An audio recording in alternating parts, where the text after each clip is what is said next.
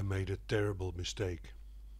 I thought that I could persuade Anthony Riley, also known as Sleeping Warrior, that he was wrong with his analysis of the statement of Euclid about perpendicular.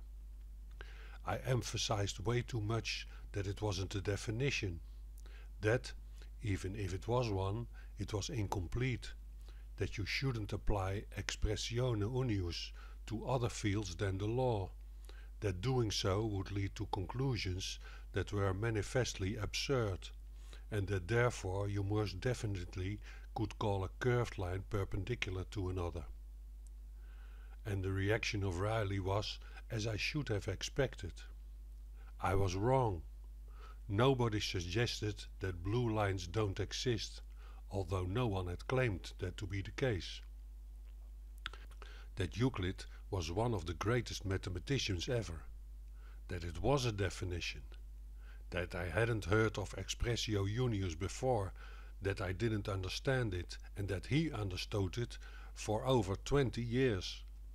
That my more generic definition of perpendicular can be dismissed because Euclid's was the better one and that I was just a spastic with a dog. No matter what I was saying, he was right and I was wrong. I completely failed to show him where he was wrong. And that was because you can't convince Anthony that he is wrong because he thinks he is always right no matter what nonsense he is peddling this time. But what if we presume that he was right? That the statement of Euclid indeed was the ultimate definition that you can apply expressio unius to every statement that has a list of items in it. What if I applied the same method Riley always uses? a combination of close reading and applying his close-minded version of logic. The first question is, what is Euclid defining?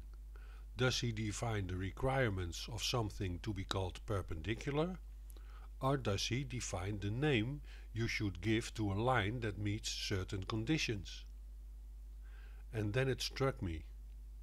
It was staring me in the face all this time this little word, this little a that promoted the word perpendicular from an adjective to a noun.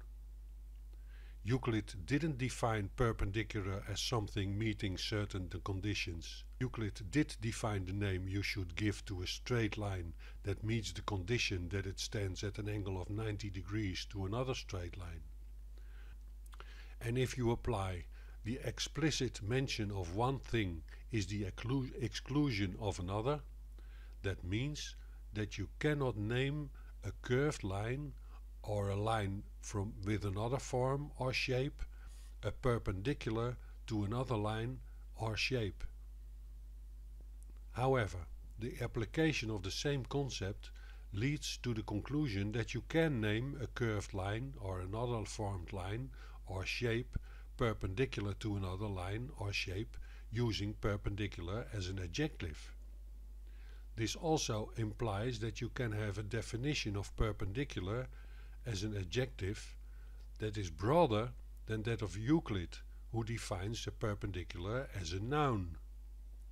I have never ever heard a baller call a curved line a perpendicular. They always say that a curved line is perpendicular to another so they always use perpendicular as an adjective, never as a noun. I'm sorry, Anthony, you are right, and therefore you are wrong.